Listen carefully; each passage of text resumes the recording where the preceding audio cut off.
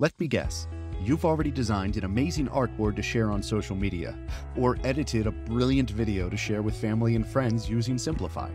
Well, what if I told you you weren't quite done yet? Because Simplified has another way for you to spice up your artboard or video using design components and visuals. And in this video, I'm going to show you how to do just that. So let's get started. We'll come down here to graphic design. For the sake of clarity, I'm going to create a custom design and I'll demonstrate how to add components and visuals using this blank artboard. And to do that, we'll come over here to the left-hand toolbar and click on Visuals. As you can see, we've been guided to our collections, which include stickers, icons, doodles, and more.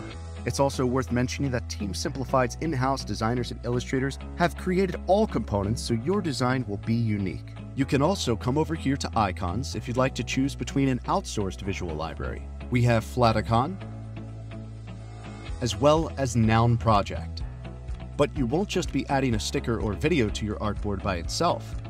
If you click on the image once it's in your artboard, you'll be able to animate the image.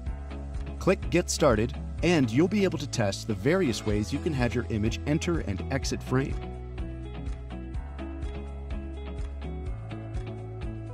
Not to mention, you can also adjust the speed in which it enters and exits the frame. And there you have it. Simplified's collection of design components and visuals are a great way to spice up your artboards and videos. For more tips and tricks on how Simplified can help add a little more pizzazz to your social media content, sign up at simplified.com. See you there.